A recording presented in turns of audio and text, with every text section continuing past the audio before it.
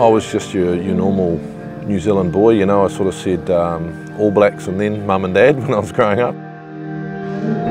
Becoming an All Black, um, especially for the first two years, was just a great ride. And then uh, it got a little bit more complicated.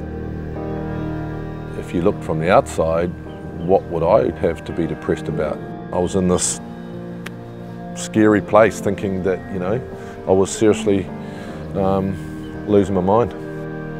He's really shown what you can do if you stand up and talk about difficult subjects, um, talk about your story and how you managed to get through depression. I think he did a fantastic job of conveying that message that you know depression is an illness, it's not a weakness, and that uh, you know it's important to seek help. It's a strong thing to do.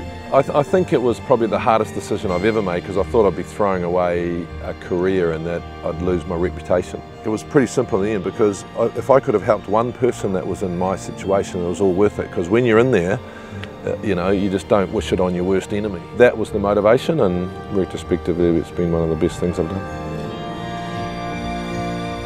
I remember working with a very young person who talked about how feeling he was able to come and see me and talk about his fears and anxiety because JK had it and JK had said it was okay to do this.